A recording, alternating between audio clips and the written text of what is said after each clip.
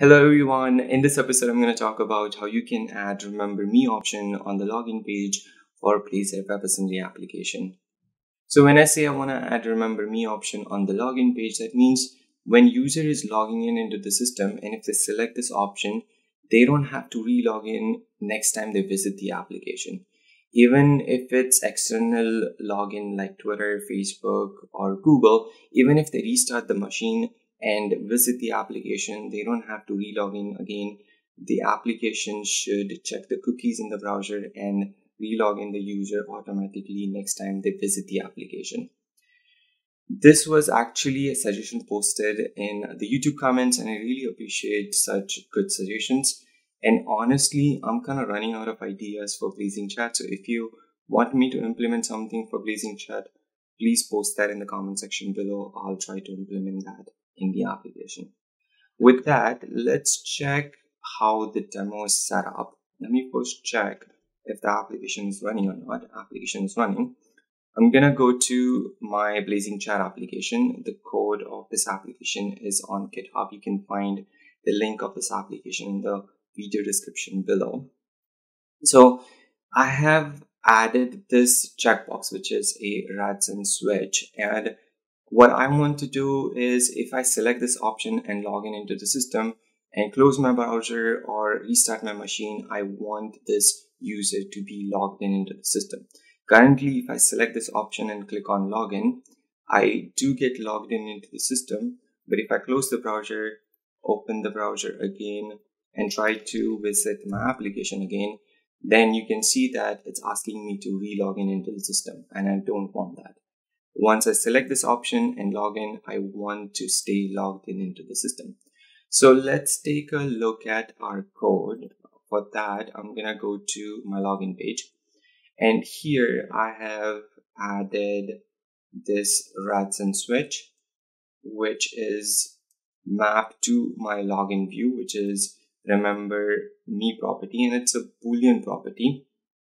If I hover over it, it's loading it's not showing but that's okay. Let's go to our view model. If i go to my login view model here you can see that i have this boolean property and that's what's mapped on my login component. If i go to my code section here for the component i am calling login view model and i'm calling this login method which is actually calling a web API. If I go to my login view model, it's calling a web API, which is login user, and that will help us login into the system. So let's check that controller. If I go to my server project and open the controller, here I have this login method, which takes the user. It checks if the user is there in the database or not. I'm using Entity Framework Core for that.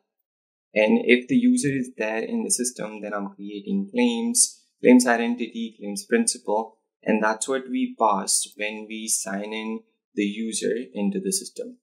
And when you call this HTTP context sign in async method, it takes two parameters. One is claims principal, which we just created from their email address and user ID. And the second parameter is authentication properties. And to get that, I'm calling a method which is get authentication properties. Let's go to its definition. It's actually setting some properties, which are authentication properties, and returning that object back. And here you can see that I've set is persistent property to false. And that's the reason why the browser is not maintaining the cookies and it's not relogging the user when you visit the application.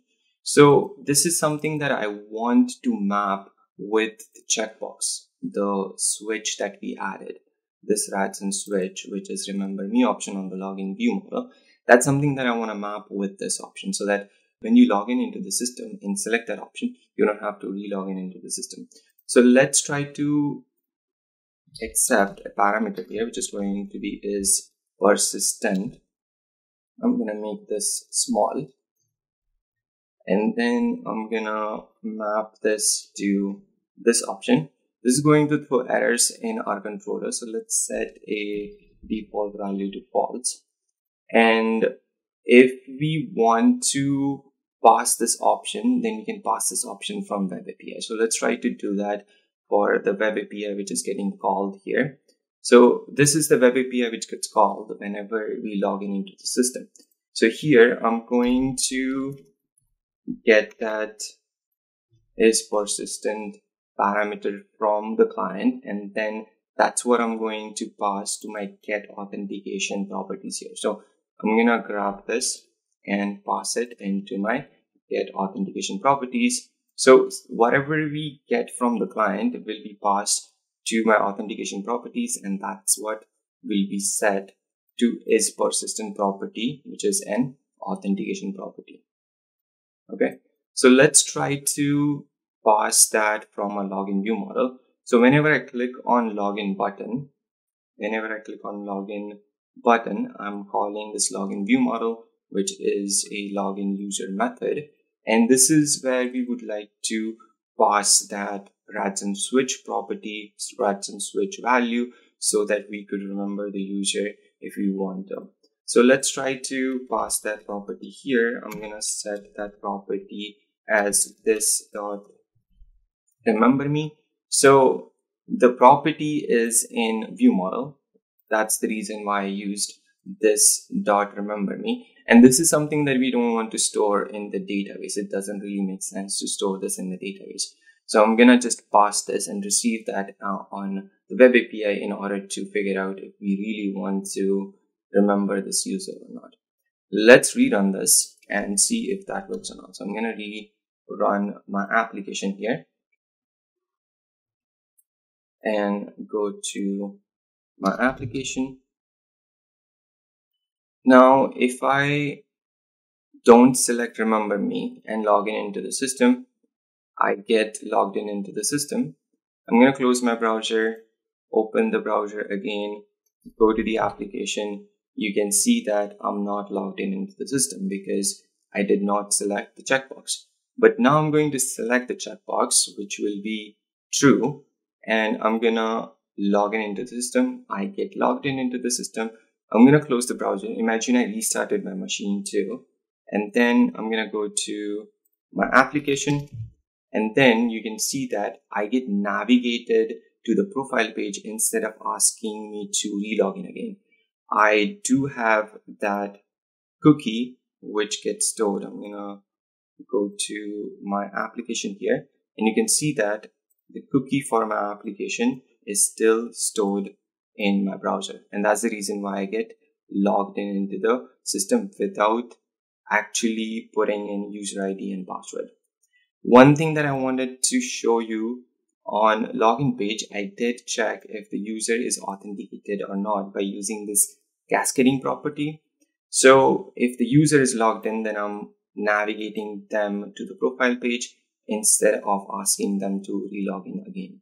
They do have the cookie in the browser. They don't have to stay on the login page when they visit the application. If they're authenticated, they can navigate to the profile page.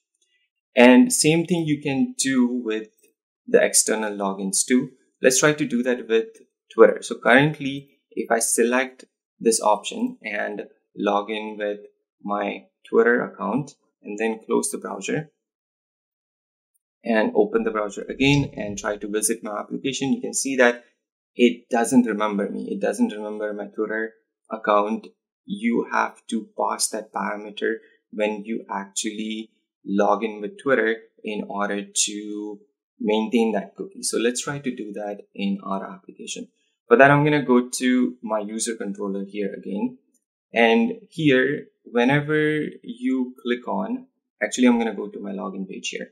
On login component, whenever you click on Twitter authentication, it actually navigates to a web API, which is Twitter sign-in, and it's set to reload the application, forcefully reload the application so that you can get the redirect URI and everything. Um, so here we should pass that parameter so that we could remember, we could save the cookie forever in order to keep the user logged in when they visit the application again. So let's try to get that in this web API. For that, I'm going to say boolean is persistent and that's what I would like to pass here. And I'm going to go back to my login page and here I'm going to get that as a parameter and that's actually going to be login view model dot remember me option so that whenever you select that option that will be sent to web API whenever you're trying to log in with Twitter. Let's try to run this and see if that works or not. And then I can do the same thing offline for my Facebook and Google authentication too. I'm gonna go back to my application. And here I'm going to select remember me option and then log in with Twitter. I get logged in with Twitter. I'm gonna close the browser and then try to go to my application. You can see that I get navigated to my account instead of asking me to re-log in into the system. So that's how easy it is to set the is persistent property for your authentication properties and remember the user and not asking them to re-log in again.